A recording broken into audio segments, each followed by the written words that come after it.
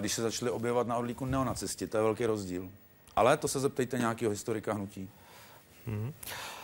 A ty písňové texty. Proč by nám vadili skinheadi, když my jsme byli skinheadská kapela Durchaus? Čili skinheadi ano, neonacisté ne. ne. Tak, taková je vaše odpověď. Taková je moje odpověď. A, e, Oni ty... se tam ani necítili dobře, pač díky těm textům, který jsem vám tady zrovna citoval, s tím křížem hákovým, kam mají jít, tak e, se tam necítili někteří úplně komfortně. No ale víte co, ale ty, ty písňové texty nebo ty názvy písní, Bílá liga, Bílej jezdec, Eh, tak na začátku 90. let jsme byli všichni, nebo já rozhodně, uh, uh, rasista, takže to jako rozhodně ano. Rozhodně ty texty tam takový byly, takhle jsem ten svět vnímal. A, a koho nebo co jste tím mysleli, nebo vlastně v té úvodní reportáži také to jste se, barva kůže napoví. Víte, tam víte co, zazněl. už je to, já, vám jsem, já jsem vám to teďka jednoznačně hmm. zodpověděl, hmm. co mě vedlo k napsání takovýchhle textů.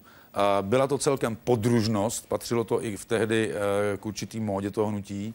Na druhou stranu pro mě to bylo i přesvědčení, protože jsem měl tu zkušenost velice špatnou, zejména s romskou populací, a, e, ale jak říkám, je to rok 1987 nebo 88, takže to se musíte vrátit tam, jako bavit se o tom teď. E, podívejte se na mé texty posledních 15 let, 20 let a můžeme se o nich bavit. Ale abych rozebíral, jak vlové bijem omříže, jak lvové v kleci Dobře. jetí. Uh... To jste už nám na to odpověděl, jenom to mi ještě řekněte.